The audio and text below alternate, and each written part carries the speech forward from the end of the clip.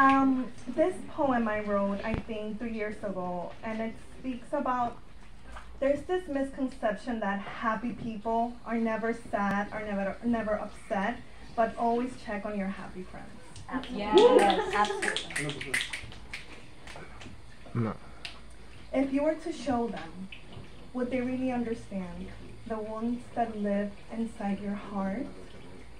If you were to show them what you really think, would they judge your thoughts? Or would they say, I'll hold the space you so desperately need? If you were to show them the parts of yourself you hide behind your happy smile, would they walk away or would they stay a while? If you were to show them the pain behind your sparkly eyes, would they act surprised? Or would they say, I knew it all along. That's why I never left your side.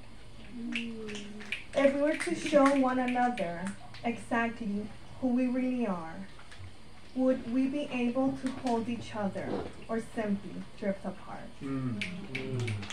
Thank you.